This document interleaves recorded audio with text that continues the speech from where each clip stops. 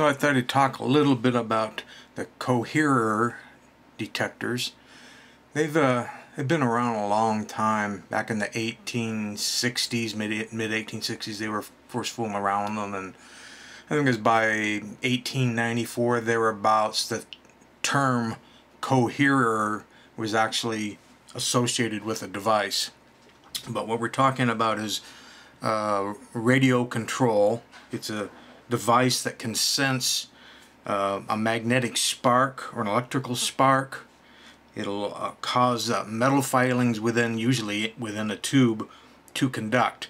And then if you physically shape or shake or tap the tube, it breaks that conduction until the next spark comes along.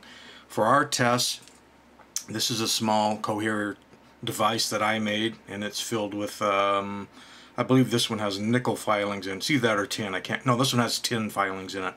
Which I basically just took a file and took some rosinless solder. You can get solder that has no core, coreless they call it.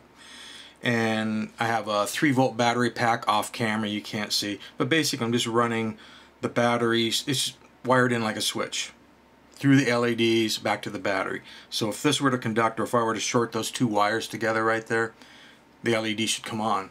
To uh, generate a spark, I'm just going to use a barbecue igniter. That's all this is. Has a little antenna attached to it. And you can see when it detected the spark, this LED came on. To turn it off, you just physically have to tap it to shake them up again to get them to uncohere. So that's the basic action.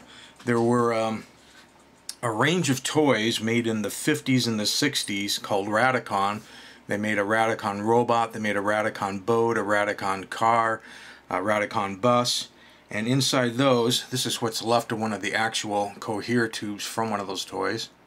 The glass is, has broken, and I'll show you the, the metal that was in there, the filings that were in there. But what there is, is in this brass cup, one of those two wires that you're seeing is soldered. It does not touch the other end. And on this brass cup, there's a wire soldered which runs over it but does not touch that one. So basically it's two wires running parallel that don't touch each other. And these two brass cups became a place where they could solder wires on. The glass tube held all the metal filings in there and it was only about three quarters full. They put um, a red piece of plastic on all of them to indicate where top was when they were building the devices so they could align them so they could have reliability. And um, does the same thing. Once it uh, an antenna comes down, a single one and a half volt battery circuit feeds this. Then they went to a, um, a meter relay, like I've already done a video on. It looked very much like this because they needed something very sensitive, and the meter relay then then triggered a, a motor servo system within the robot. Um, here's one that I made just took a glass fuse apart and I should have used a shorter fuse. But it is basically what you saw in there. I soldered a wire to one cap soldered a wire to the other cap put my slid one cap in and, and glued it then uh, slid the other cap in and, and glued it and the two wires again are parallel. And this one works kind of okay. It's being as long as it is it, it tends to want to conduct even when there isn't an RF from time to time. So that makes it not quite reliable and you should have shortened it to get better response out of it.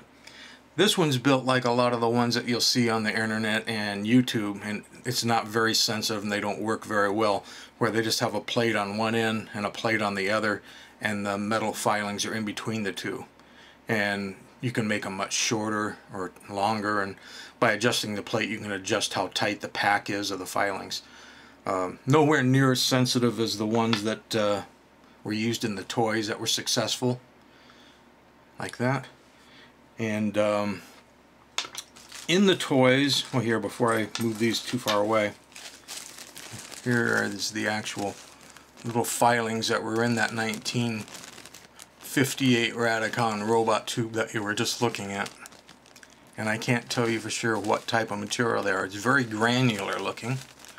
It's not magnetic, so it might be aluminum, but I don't really have any way of knowing. Um, I'm going to move this stuff out of the way and show you how I reset. Within the toys that were made, they actually had a, a hammer when the servo motor run a little hammer come wrong and actually hit the platform that the tube was on to reset it. In the toys that I'm making, because um, you, you can see my videos on building the dual drive base, my videos on how to build this electromagnetic sequencer. The motor that runs the sequencing cam on the bottom, I have put another cam in there. See that orange cam down there?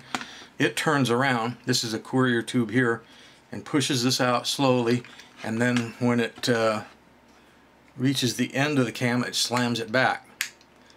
So that is what resets the whole thing. Uh, don't know. Let's see. I haven't tried this. Let's see if we can run this thing. So we'll uh, we'll pretend that there was a signal, and we'll see if there's some way I can get the camera angle where you can see what's going on. There, did you see it click it? See how it moves it out and then you hear that snap? That's when it comes back. Is this better in this angle maybe? There, I think you can see the cam as it comes around. So that um, that hitting of it is what will reset the the device so it's ready for the next signal. In, in operation, what happens is the RF is detected by this. This goes up and turns on the sensitive relay, whether it's um, a reed relay or that meter relay, doesn't matter. And then that meter relay or reed relay turns on this motor and of course this micro switch normally stops it here but it bypasses that runs it. So once this starts to move now the switch is released. It's going to continue running because of this switch. This gets pinged and reset. This comes back around and stops. So that's that's how the toy works. I'll do a separate video on on the Radicon robot build that I've uh, 3D printed. And because I don't do editing in my videos I'd rather spend my time bringing you content than spend my time editing.